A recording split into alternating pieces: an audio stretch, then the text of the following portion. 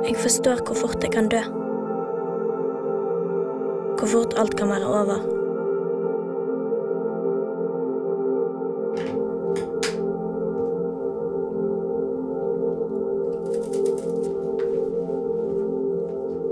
Og når jeg forstår dette, blir alt klart.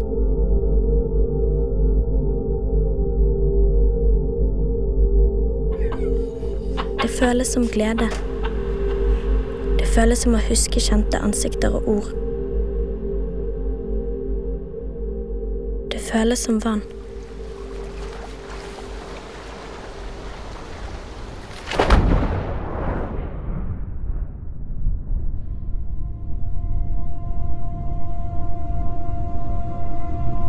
Det føles som strøm.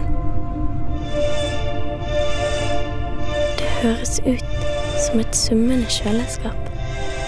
You shouldn't fear death. Just live every day as though it were your last, but like don't consider the last day. Or maybe live life like life was on pause. So you had infinite time. Jeg føler fred. Dette er fred. Jeg håper du får et godt liv. Hvem andre. er.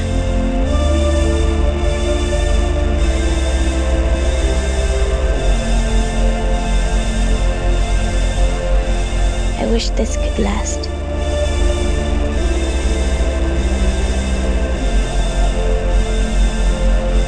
Du kommer jo til å dø en dag. Jeg har bare lyst til å ta tak i hodet ditt og, og, og, og riste det sånn.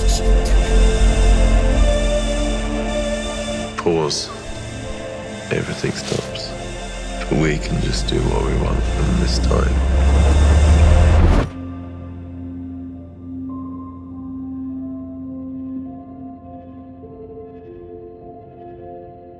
Wake up, Declan.